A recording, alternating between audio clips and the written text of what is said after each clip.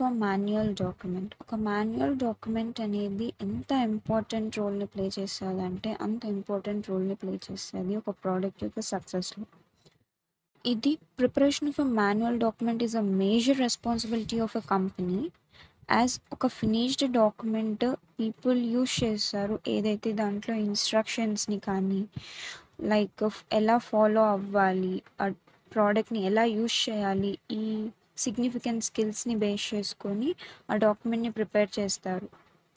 So ఆ గైడ్లో ఆ product అనేది ఎలా యూజ్ చేయాలి? ఆ స్టెప్స్ అనేవి ఉంటాయి. ఎఫెక్టివ్గా ఒక మాన్యువల్ డాక్యుమెంట్ని ప్రిపేర్ చేయాలంటే కొన్ని స్టెప్స్ని ఫాలో అవ్వాలి. Like identification of customers so కొంతమంది టార్గెటెడ్ కస్టమర్స్ ఉంటారు. వాళ్ళని బేస్ చేసుకొని మాన్యువల్ డాక్యుమెంట్ అనేది ప్రిపేర్ చేయాలి. సో కస్టమర్స్ని ఐడెంటిఫై చేసిన తర్వాత ఇన్ఫర్మేషన్ ఏ ఫామ్లో ఉండాలి ఎలా ప్రజెంట్ చేయాలి and different details various details A weight వెయిట్ని ఇంక్లూడ్ చేయాలని ఈ ఆస్పెక్ట్స్ని చూస్తారు. Next define the purpose of the manual. So purpose of the manual ఏంటంటే అది ఒక వెల్ డిఫైన్డ్ డాక్యుమెంట్ అయి ఉండాలి. ఎగ్జాక్ట్గా ఏం కన్వే చేయాలనుకున్నామో షార్ట్గా ఇన్స్ట్రక్షన్స్ ఫామ్లో ఆ మాన్యువల్లో ప్రజెంట్ చేయాలి. Next identify the steps to follow so ఒక ప్రోడక్ట్ని యూస్ చేయాలంటే ఆ ఆ స్టెప్స్ని మనము ప్రజెంట్ చేయాలి నీట్గా ఆ డాక్యుమెంట్లో next formalize the return draft information అనేది స్టెప్ బై స్టెప్ నంబర్స్ని ఇండికేట్ చేస్తూ ఫస్ట్ ఏ స్టెప్ రావాలి దెన్ నెక్స్ట్ సెకండ్ స్టెప్ ఏమి ఉండాలి అని స్టెప్ బై స్టెప్గా ఫా ఫాలో అప్ ఉండాలి. Next develop appropriate diagrams and graphics. So in a day to day life మనం చాలా బిజీ ఉంటాం we don't have time to read and few people they might be illiterate so they can't understand everything we have return so అప్రోప్రియేట్గా diagrams and graphics ఏసీ steps ఎలా follow అవ్వాలో చూపిస్తే వాళ్ళకి time waste అవ్వకుండా ఈజీగా అర్థమైపోతుంది. ఇలా ఇన్ఫర్మేషన్ చదవకముందే. నెక్స్ట్ బ్రీఫ్ ఇన్ఫర్మేషన్ సో ఒక యూజర్ అని అతను maybe he might not be good at technical information so తన ఆ యూజర్కి బాగా ఈజీ వేలో అండర్స్టాండ్ అయ్యేలాగా ఇన్ఫర్మేషన్ అనేది ప్రొవైడ్ చేయాలి. టెక్నికల్ వర్డ్స్ అనేవి మ్యాక్సిమం రెడ్యూస్ చేయాలి. నెక్స్ట్ అక్యురసీ ఆఫ్ ఇన్ఫర్మేషన్ ఇవి మనం ప్రొవైడ్ చేసిన ఇన్ఫర్మేషన్లో ఎర్రర్ ఎర్రర్స్ ఏమీ ఉండకూడదు. ఆ ఇన్ఫర్మేషన్ అనేది అక్యురేట్ ఉండాలి. Terminology clarity of language and steps accuracy కానీ ఇవన్నీ క్లియర్గా ఉండాలి. యూజర్ ఎలా ఎంత క్లియర్గా ఉండాలంటే he should do the work by himself without any help అంత అక్యురేట్గా కన్వే చేయాలి.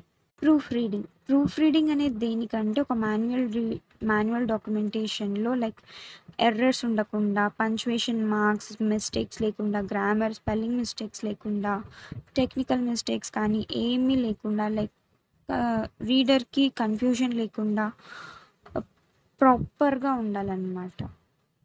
So readable format readable format అంటే ఏంటంటే like it is user friendly ఉండాలి ఫాలో అప్ అయ్యేకి ఈజీగా ఉండాలి అండ్ మాన్యువల్ని మాన్యువల్ ప్రిపేర్ చేసే అతను ఏం గుర్తుపెట్టుకోవాలంటే that is it is not for only to the technicians and people who are good at technical knowledge అది నాన్ టెక్నికల్ పీపుల్కి కూడా అర్థమయ్యేలాగా correct font size and appropriate హెడ్డింగ్స్తో డాక్యుమెంట్ని ప్రిపేర్ చేయాలి. నెక్స్ట్ టేబుల్ కంటెంట్స్ టేబుల్ కంటెంట్స్లో ఏంటంటే వాళ్ళకి కొన్ని క్వశ్చన్స్ రేజ్ అవుతాయి. ఆ క్వశ్చన్స్కి ఆన్సర్స్ ముందుగానే అజ్యూమ్ చేసి అజంప్షన్తో ఆ ఆన్సర్స్ని మనము ప్రొవైడ్ చేయాలి.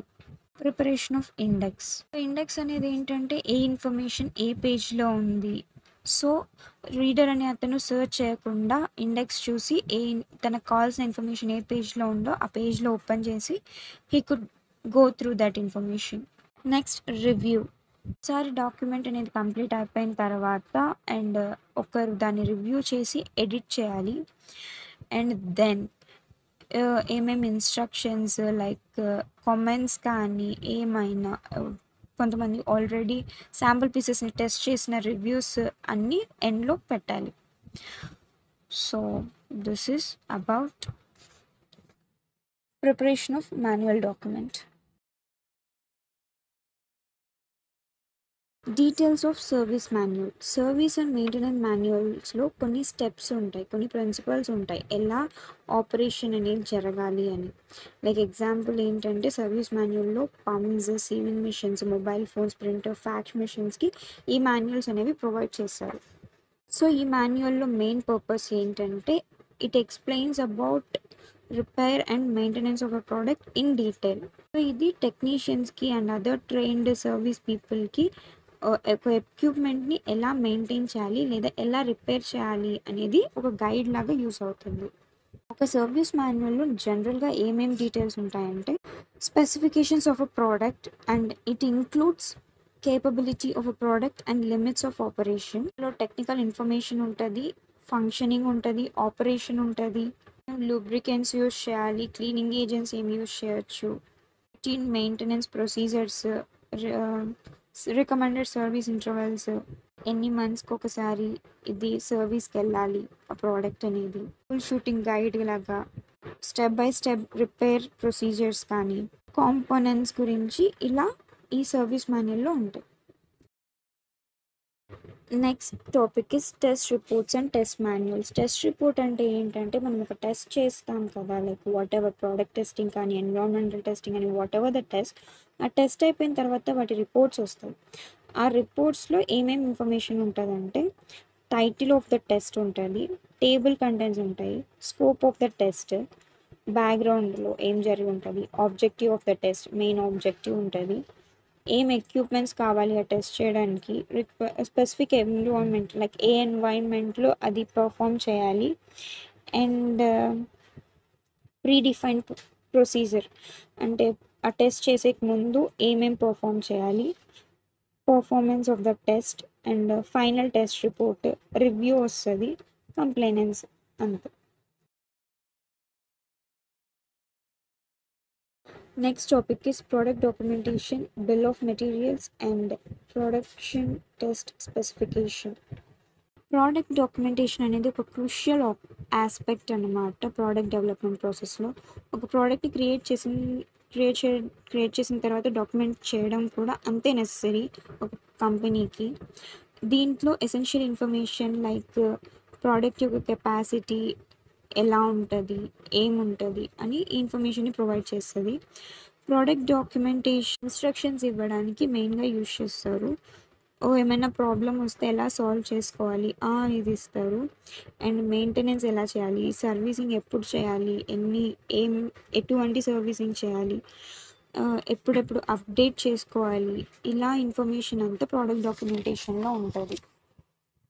దీంట్లో templates diagrams hard and soft copy return and graphic మెటీరియల్స్ని కూడా ఇంక్లూడ్ చేయాలి. దీంట్లో ఏమేమి ఇన్ఫర్మేషన్ అంటే mode of failures operating methods hazards operations వీటి గురించి కూడా ఇన్ఫర్మేషన్ అనేది ప్రొవైడ్ చేస్తారు.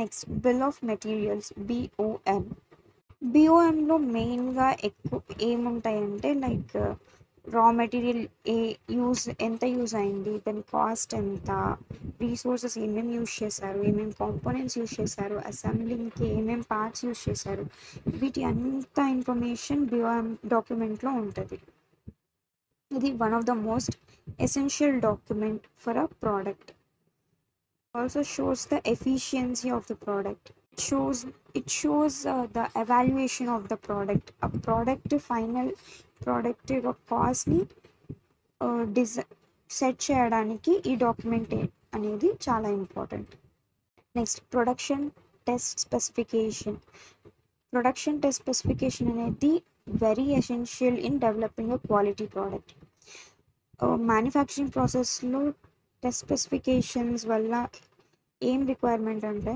it shows the quality and reliability of a product ఏం డిఫెక్ట్స్ లేవు అని చూపించడానికి so by implementing this manufacture అక్యురేట్గా technical స్టాండర్డ్స్ని ప్రొవైడ్ చేయడానికి స్కోప్ ఉంటుంది.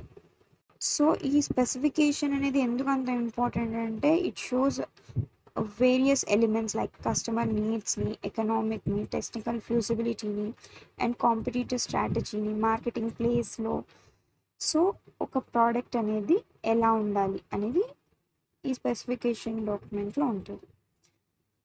that's all guys. Thank you.